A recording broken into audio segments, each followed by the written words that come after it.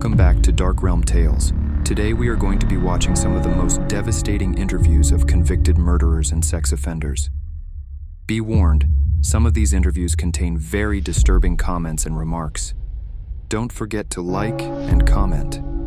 Get this video to 100 likes and we shall share uncensored, unseen footage that you have never seen before.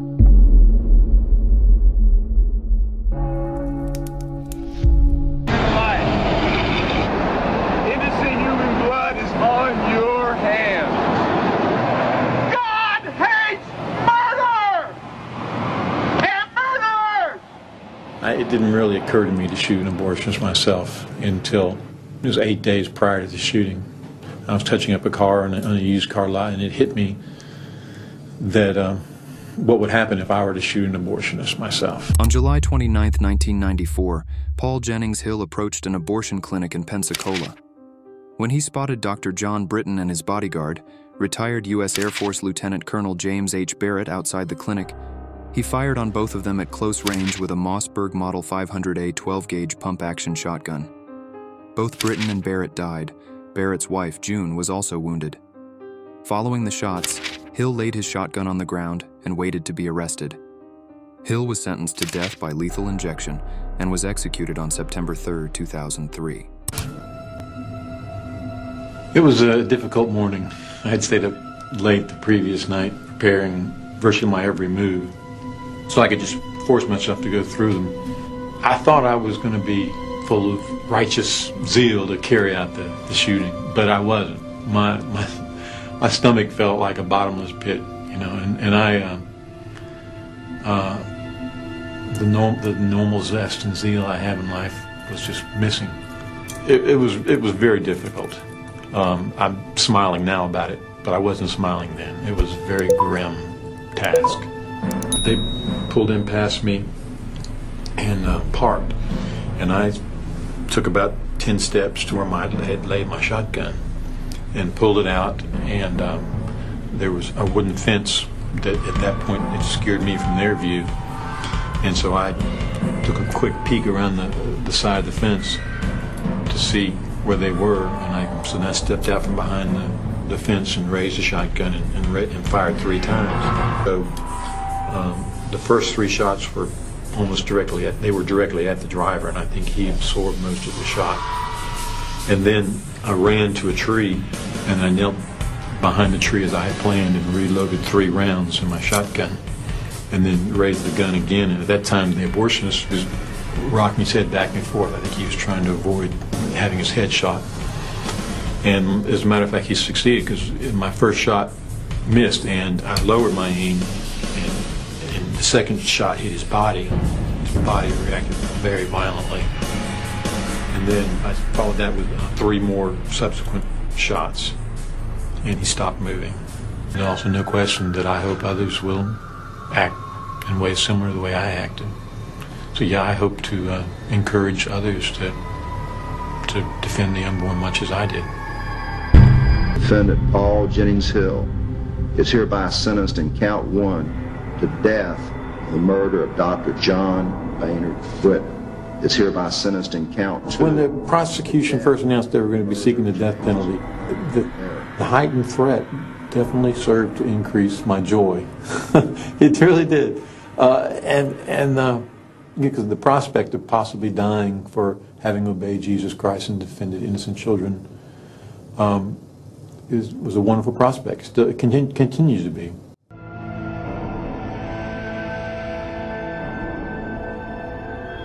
Actually, I didn't really decide to do it until Monday prior to my shooting abortionist on Friday. And uh, it was a very emotional experience because I was thinking in my mind whether I was going to shoot this abortionist or not. And yet I kind of felt like I probably would.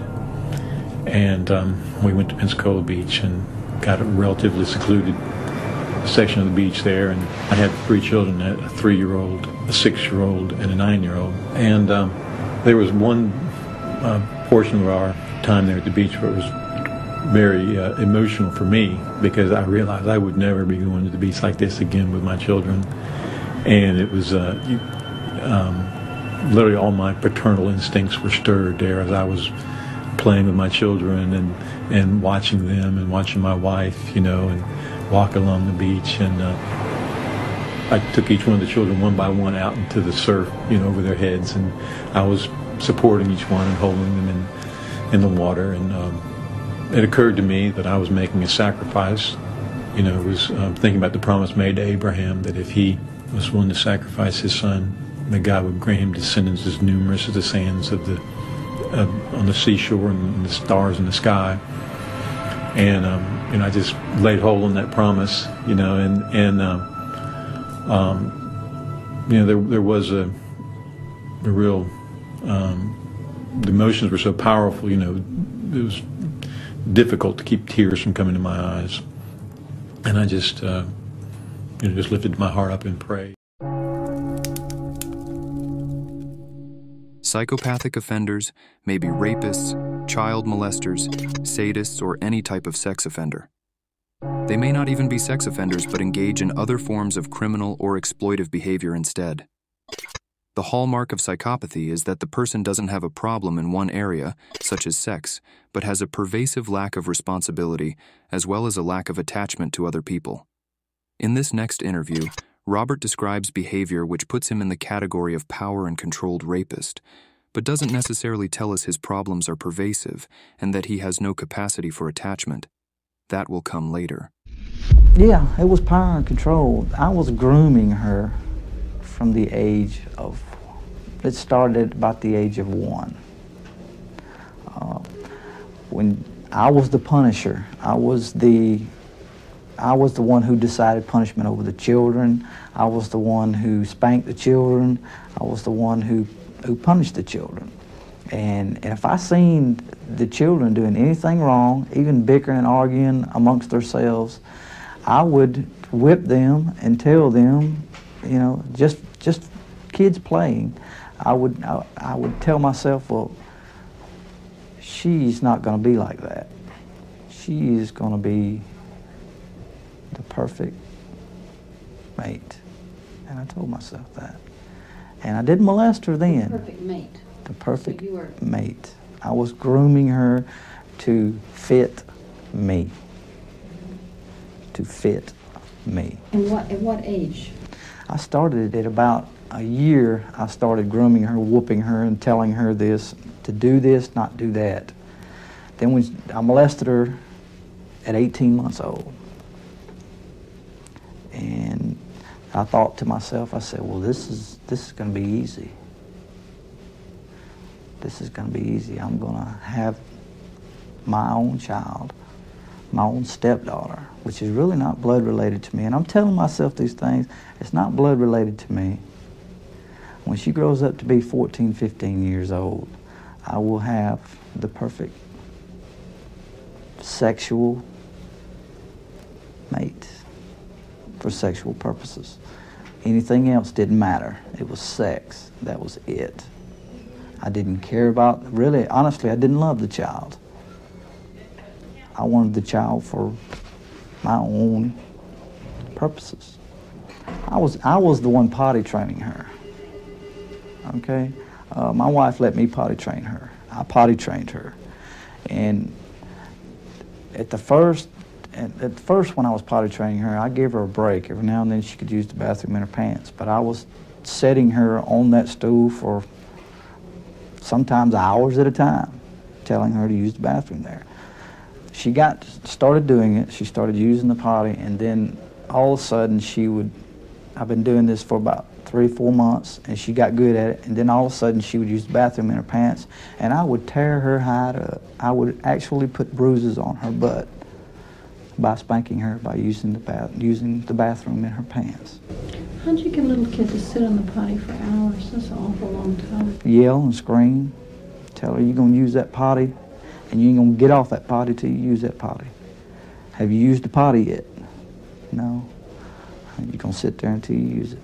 And and and, I, and as I look back, I was done that way, the same way she was done. How was you justified in your head? How I justified in my head, she's going to do what I want her to do, and that's it. She's going to use the bathroom. She's going to, uh, let's say, I told her that Daddy loves her and Daddy's going to take care of her. And Daddy's going to give her anything she wants as long as she does what Daddy tells her. I got married at 19 and I kind of like refrained, refrained from, or tried to refrain from sexually acting out with any other ladies besides her because I knew that AIDS was coming out and I knew that diseases were very frequent. And I started thinking to myself that uh, if I stick with this one girl and just groom her, or one woman, I would groom her and get her to do what I wanted her to do. And eventually she did. She done what I asked her to do. It was no problem. It was, it was a little at a time, and I done it. And I manipulated her and coerced her. Manipulation, coercion, violent behaviors, striking her, get her get her so drunk she'd pass out, and I'd do what I want to with her. I'd force myself upon her when she was passed out, and did what I pleased. Uh, and sexual behavior got real, real out of out of whack. Yeah, I made her force objects into her vagina. I uh, made her, uh, forced her into uh, watching pornographic material and stating that I wanted to do that certain thing to her. Um, I wanted to I wanted to have sex with her uh, constantly. This was a, every day, every day, three or four times. I would get it, want it as many times in the day as I could get it. And I have got it up to six times in one day. And still, still, I did not have enough. I wanted more. It was like a fix. I wanted it. And I did anything I could to get it. And how many victims did you have total? I have a total of, uh, of 24 now. And I'm looking to see if I have any more. And were these, you said these were all kids except two? No. Oh, yeah, well, they were under the age of 18. Most of my victims were the age of 11 to 16. And how did you get control of them? Was it through force and control and violence? It was manipulate. No, it wasn't violence. It was uh, it was more like manipulation. It was coercion.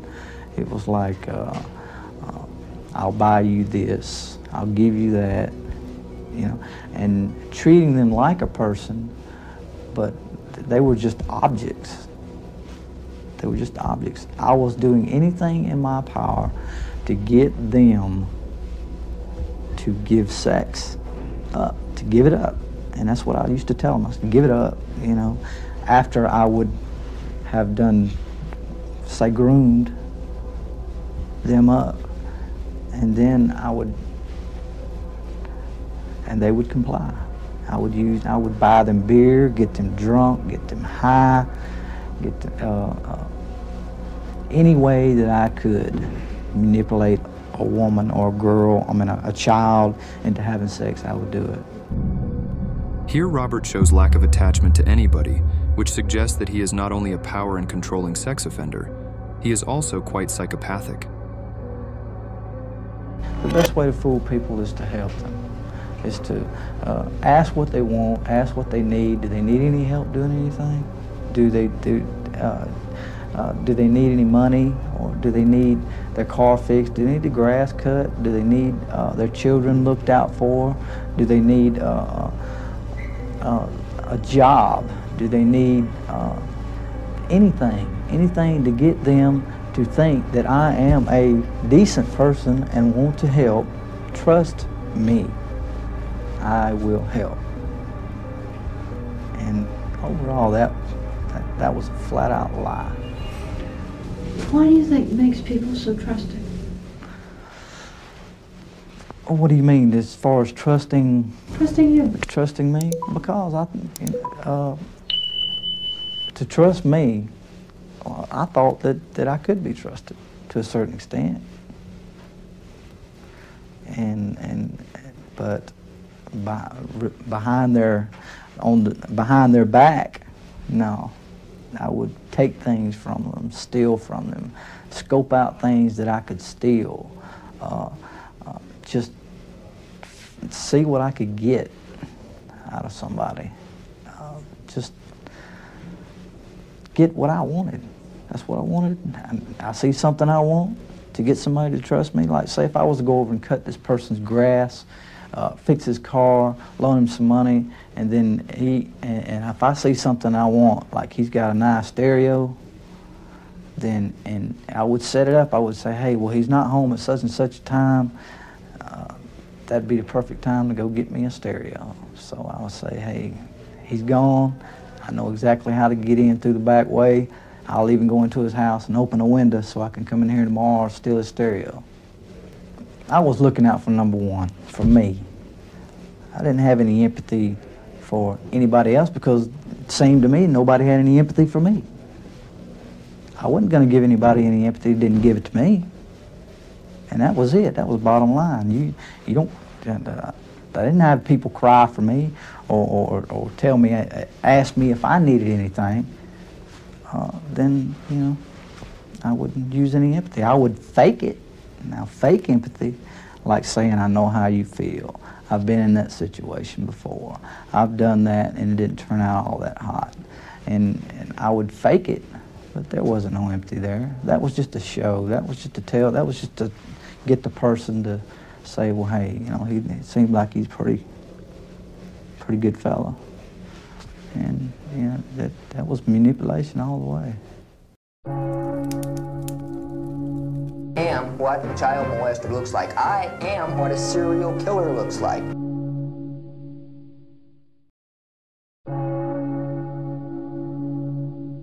I don't know if I have any feelings. Maybe, maybe that's my birth defect. I wasn't ever, I wasn't even born with feelings. I don't know.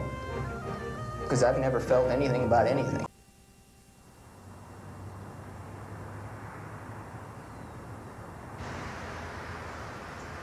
Richland, Washington, halfway between Seattle and Idaho on the Columbia River, is one of those towns people refer to as a good place to grow up in.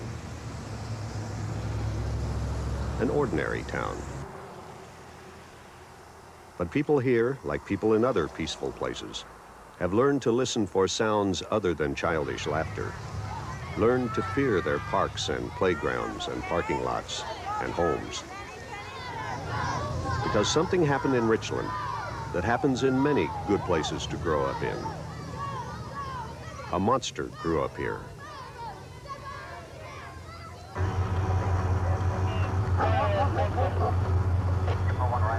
In September 1989, two young boys disappeared, riding their bikes in a Vancouver, Washington park. They were found later in the day, stabbed to death.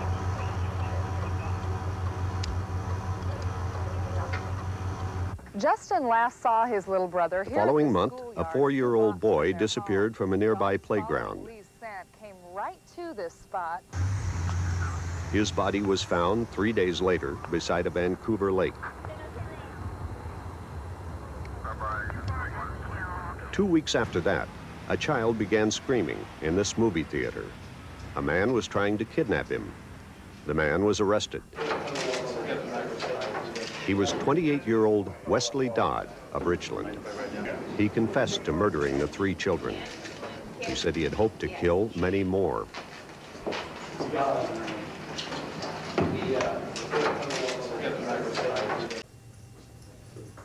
The most startling thing about Westley Dodd is how ordinary he seems.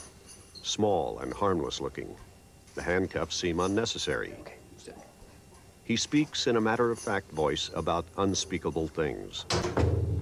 You must have discovered something about yourself in the last two years that you've been in here.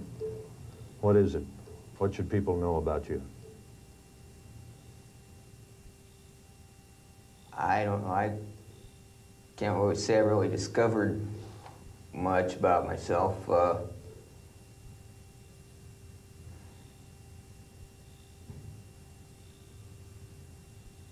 think really the, the biggest thing is that everything could have been prevented.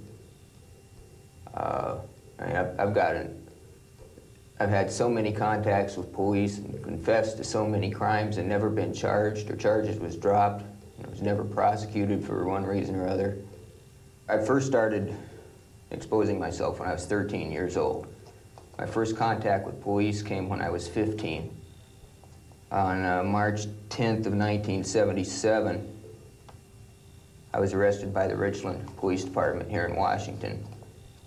Uh, I confessed to six or seven different crimes. I couldn't remember for sure.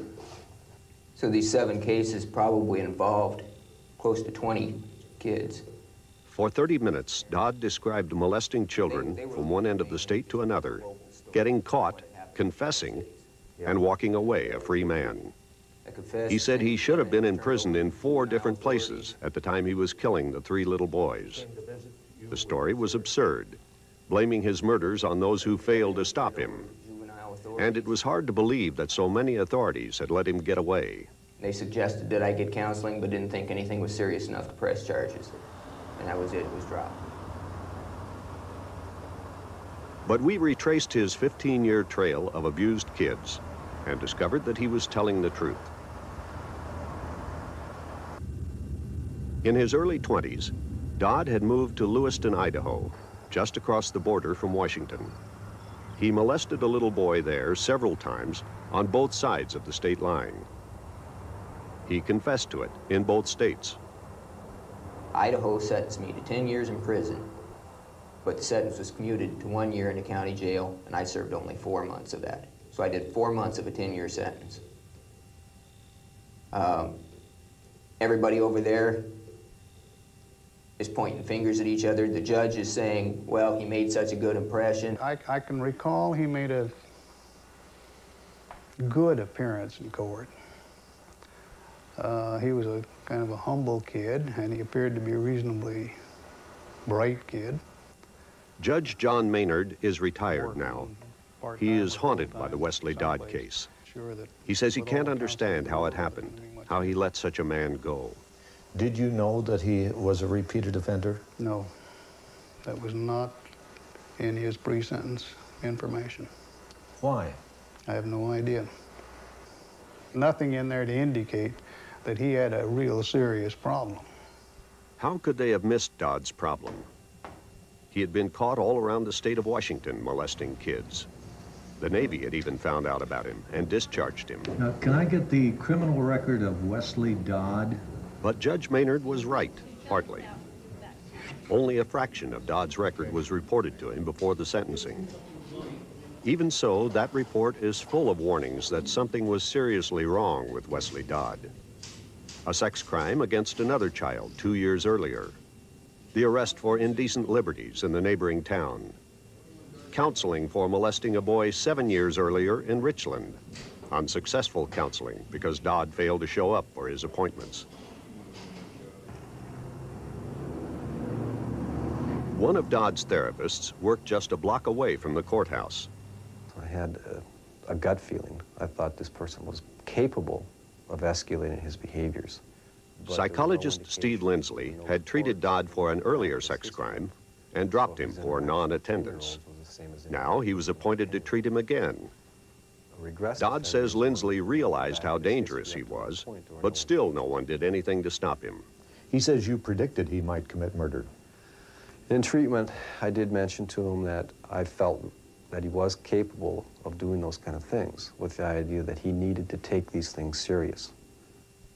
Dodd should have been arrested again the moment he was released from the Idaho jail.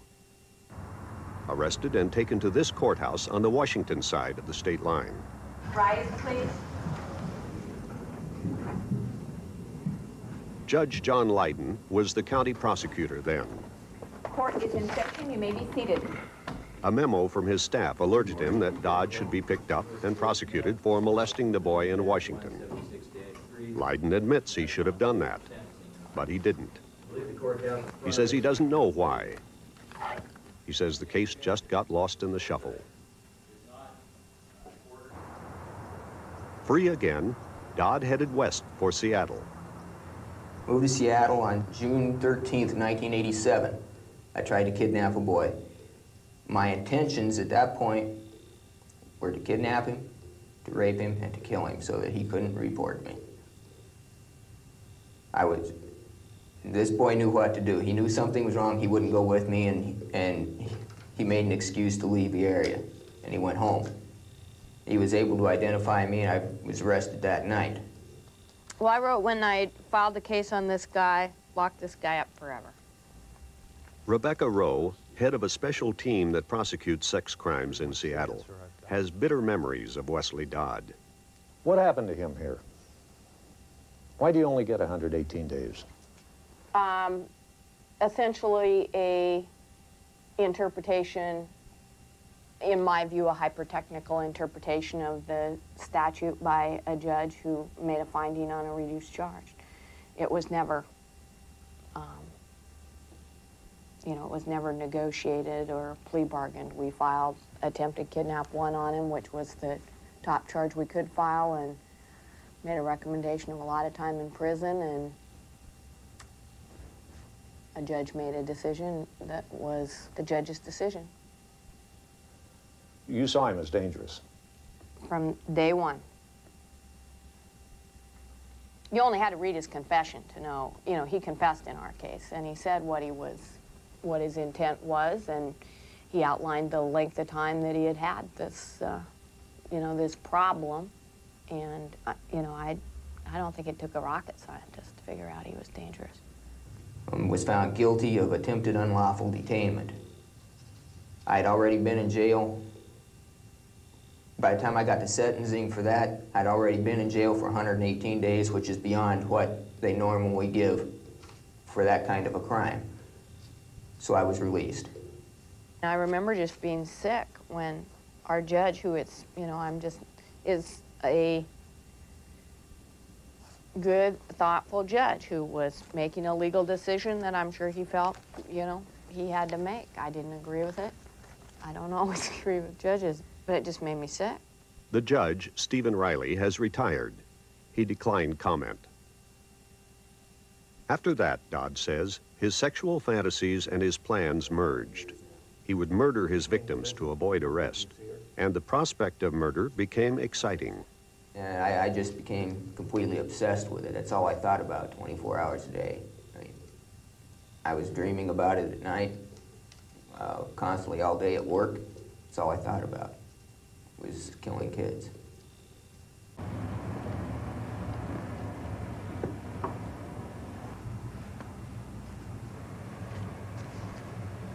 Some standard police photos of crime scenes.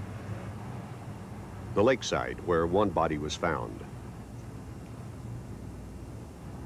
The park where Dodd found two boys, molested one, and stabbed both to death. His home, where he killed a four-year-old boy. The theater, where he tried to grab another victim and was caught.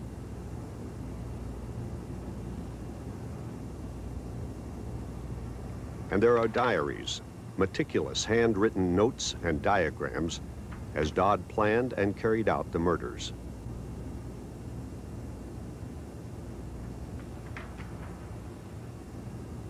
He wrote of a wounded child pleading, I'm sorry, I'm sorry, before Dodd stabbed him again. Another entry says, I think I got more of a high out of killing than molesting. And I must find another child.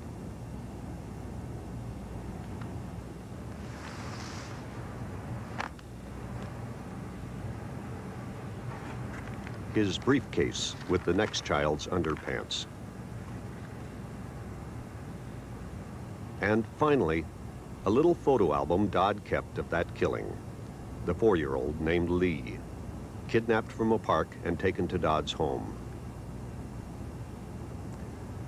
You kept a photo album. Why? Two reasons, really. One was to help me remember what I'd done, exactly what had happened, what he looked like, uh, for my own, you know, pleasure. We'll get photos later on. And another one was so the next time I got a boy home, I could show him pictures of Lee hanging in the closet, and then I'd kill that boy.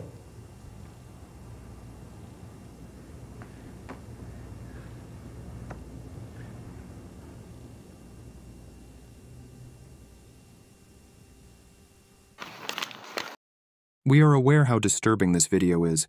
We made it because we have seen children report acts of sadistic abuse and not be believed, because the listener refuses to accept that such things happen.